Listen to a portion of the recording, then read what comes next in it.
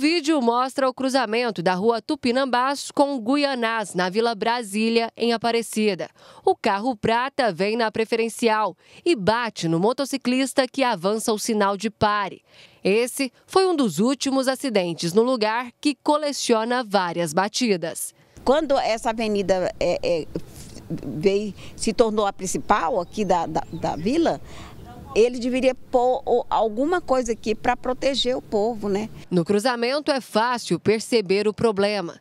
De um lado da rua, o que sobrou de uma sinalização de pare. Já deste lado aqui da rua, praticamente não tem sinalização. Os moradores disseram que há cerca de seis anos a rua não é pintada, não recebe a sinalização horizontal. O Vivaldo está aqui há três anos na barbearia, né, Vivaldo?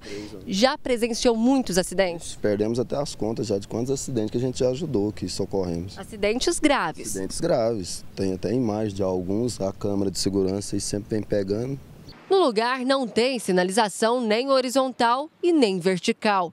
Mas os moradores também acreditam que a imprudência dos motoristas é responsável por grande parte dos acidentes. Motoqueiro, principalmente, que costuma passar aqui, tem um, um sinal ainda muito pequeno do pare ali, mas a pessoa tem a consciência que ali tem que parar. Ele ainda diz que o fluxo de veículos cresceu muito na região e isso contribuiu para aumentar os problemas. Essa rua aqui, Rua das Guianas, ela, ela é muito movimentada, porque ela faz aqui, o pessoal pega ela para chegar até o Cruzeiro do Sul e aquela região. Seu Ednor, morador da Vila Brasília há mais de 40 anos, reclama que à noite a situação é ainda pior. Porque falta iluminação, né? Aí fica muito mais, fica difícil. Quem trabalha ou mora próximo ao cruzamento convive com medo. Aí está sempre cheio de gente, é perigoso uma hora um carro invadir aí e machucar o pessoal. Nós não estamos deixando mais nossa nossas crianças brincar aqui na rua, tem que brincar só dentro de casa, lá no quintal. Por quê? Porque o perigo de acidente aqui é constante. Tudo o que eles querem e já pediram para a prefeitura